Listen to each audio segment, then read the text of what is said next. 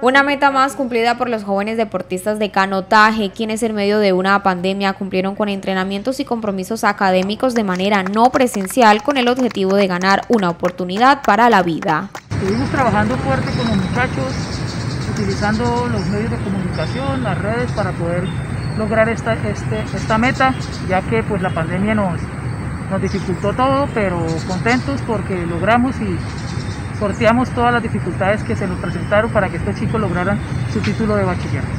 Una madre de familia quien fue testigo de este resultado positivo para la vida de su hijo dejó un mensaje de gratitud.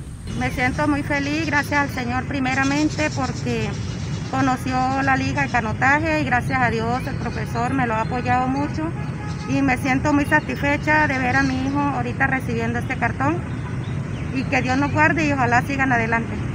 Precisamente uno de los graduados habló acerca de este nuevo logro y de la experiencia vivida, ganando así una oportunidad para seguir cumpliendo con sus sueños. Primero darle gracias a Dios por este logro y a mi mamá que me estuvo apoyando y más que nada a mis entrenadores.